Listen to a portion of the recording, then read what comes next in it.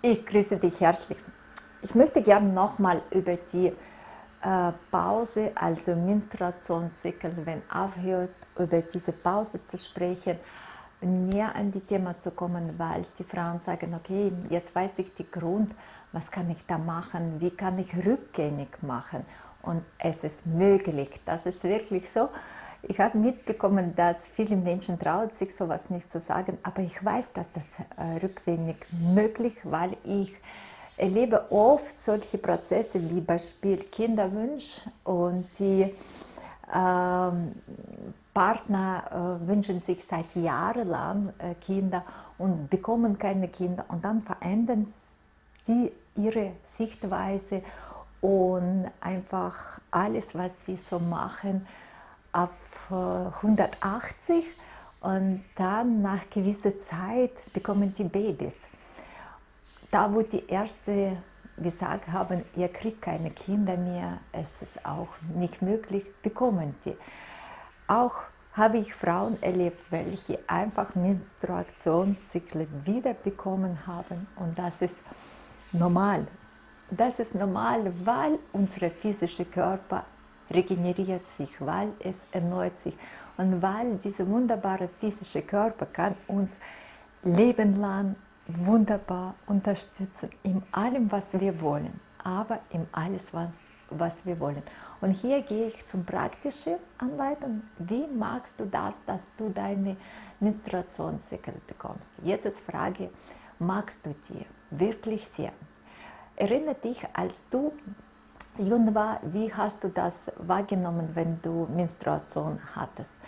Möchte die äh, gerne oder eher oh, immer gejammert und Abneigung gehabt?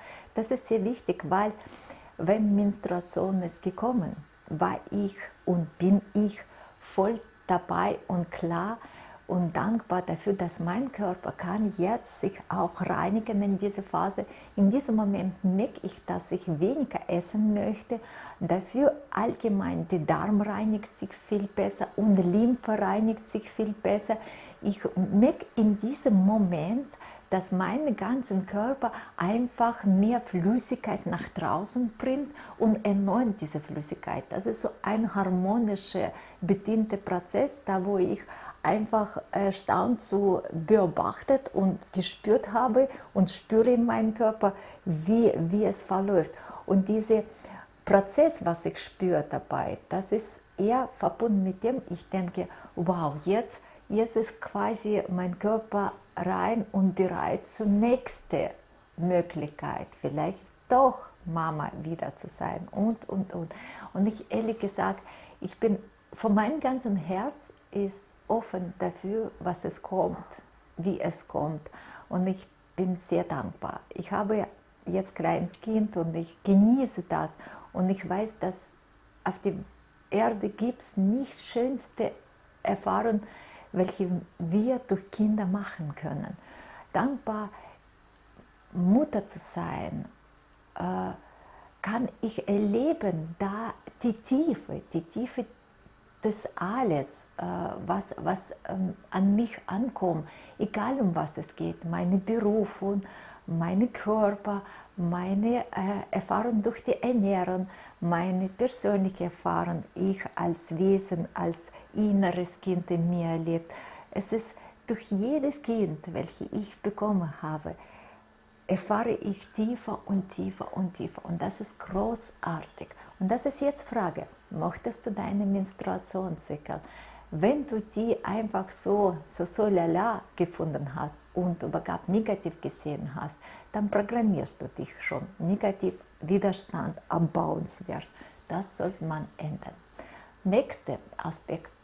Wie ernährst du dich? Dein Körper entsteht aus Röhrchen. Es bedeutet, da muss die Flüssigkeit fließen. Erstens, man braucht viel gesundes, strukturiertes Wasser.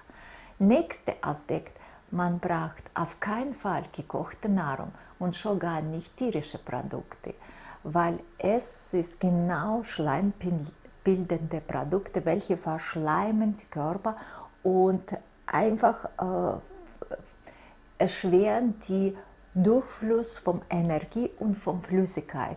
Und das verändert die Stoffwechsel und das verändert die Hormonalsystem. Das ist der nächste Aspekt. Also Ernährung umstellen auf lebendige Nahrung. Dann, wie oft fastest du? Wieso fasten? Ganz einfach. Durch die Fastenzeiten helfen wir Körper, dass alle Abfälle rauszubringen, dass die Röhrchensystem unserer physischen Körper rein sind und dass wieder alles fließen kann und dass die einfach die Prozesse laufen, brauchen wir einfach Pause für unser Verdauungssystem. Dann nächste Bewegung. Bewegung ist sehr, sehr wichtig, weil die Lymphe arbeitet durch die Bewegung und natürlich der Atem ist sehr wichtig, weil durch die Bewegung unserer Diaphragma arbeitet die obere Teil unseres Lymphsystems. Und das ist die Aspekte Bewegung des Lymphsystems, Kanalisationssystem, welche ermöglicht, dass da alles fließt, dass du überhaupt die Stoffwechsel in Ordnung halten kannst und dass du Milieu in deinem Körper halten kannst, dass da alles laufen kann und ungestört laufen kannst. Deswegen Bewegung sehr, sehr wichtig. Lymphdrainage, Bewegung und Barfußlaufen, das, das sollte wirklich sein. Wie gesagt, ich habe Wasser angesprochen. Man sollte nachfragen, wie wir stehen zum Wasser, wie viel Wasser wir am Tag trinken.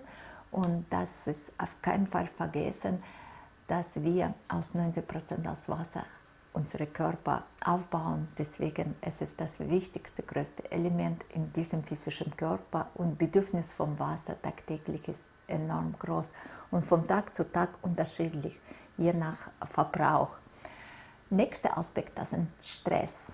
Wenn ein Mensch in Stress steht, verkrampft der Körper, geht im Sympathikus-Modus und das bedeutet, aktiviert die Produktion von äh, Cortison und Adrenalin. Und das bedeutet, Adrenalin steigt so hoch und äh, Adrenalin, wenn Nebenniere produzieren, unterdrücken die Produktion vom anderen Hormonensystem.